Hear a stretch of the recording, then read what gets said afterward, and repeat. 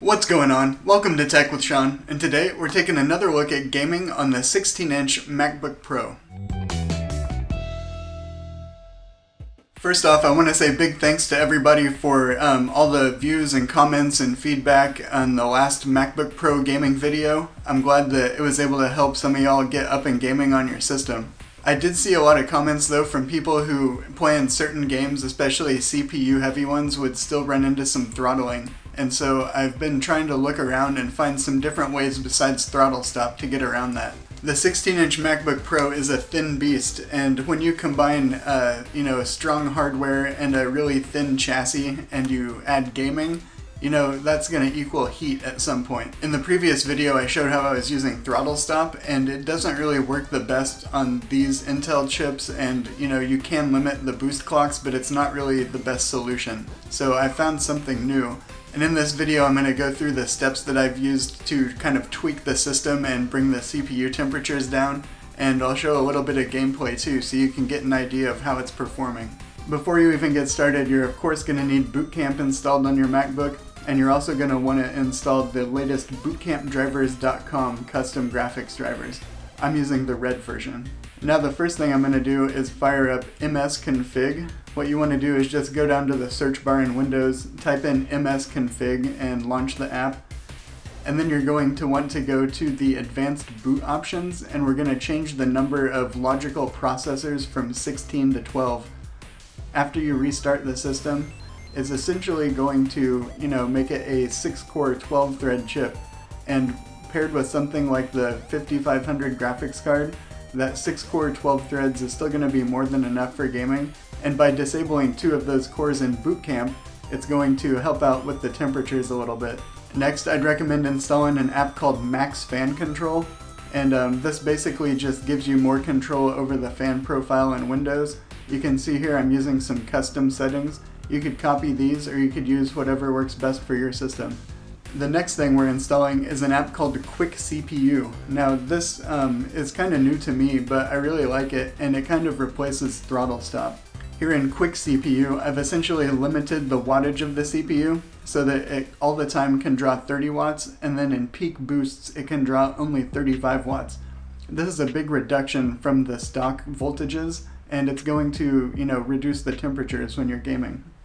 I've also gone here into the Turbo Boost submenu and I've limited the Turbo Boost clocks to 3.6 gigahertz. I don't know if you need to do this honestly since we've already limited the wattage, but I was just doing this, you know, because I don't really need any of these games boosting up to like 4 point whatever gigahertz um, just to run them at 60 frames per second. And the next app, this is one that I found out about reading online, and this is called More Power Tool. And I'm not the biggest AMD GPU expert, but this is writing something called like power play tables to the card, I believe. But what I've done in the main menu is tick the box to let me adjust the core frequency, and then I've also ticked the box that said auto undervolt. Then in the frequency settings, I've set the card to have a max boost of 1350 megahertz and to only go down to about 500 megahertz. Now, I've seen people saying that they would play and then the card would like throttle and stay down at like 200 megahertz. So I'm hoping that setting a minimum will help it from doing that. And also, the card, at least in MSI Afterburner, says that it will boost up to about 1500 megahertz. So by limiting it to 1350, that's going to reduce the, the total, you know, peak temperature it can reach. And I think that hopefully by keeping it from reaching its thermal peak, that's going to keep it from dropping down and staying at those really low clocks. So, you know, it's up to you. You can use it, not use it, play around with the values, but for me, it seems to be doing a pretty good job of keeping the GPU from throttling. Okay, now we have this whole shebang set up. We've got Bootcamp installed. We have the bootcamp.com drivers. We have limited the system to 6 cores and 12 threads. We installed Quick CPU, limited the wattage we installed More Power Tool EXE and um, limited the GPU boost, and we installed Macs Fan Control to give us a better cooling profile. So with all that going, let's jump into some games and see how it actually performs. Alright, starting things off, Red Dead Redemption 2, and um, you can see here these are the settings that I'm running it at. It's 1680 by 1050 and I have like a mix of different settings, low, medium, you know. I have the textures on ultra though. And with these settings, the system was able to run it quite well, and the temperatures are pretty much in check. It only touched on the 80s, and you know, for a thin MacBook, that's about as good as you're gonna get in a game like this. It's a beautiful game though, and it's not the, the most actiony, so it's a pretty good fit for the creative type panel that the MacBook has. And the color and the world, you know, on that screen, it just looks really vibrant and it's a pretty fun game to play on your MacBook. Next we have Call of Duty Warzone, and this is a this is the hot new you know free to play battle royale game from the Call of Duty folks, and a lot of people are probably looking to play this one on their MacBook, and I'm here to tell you that it plays and it plays pretty well on there.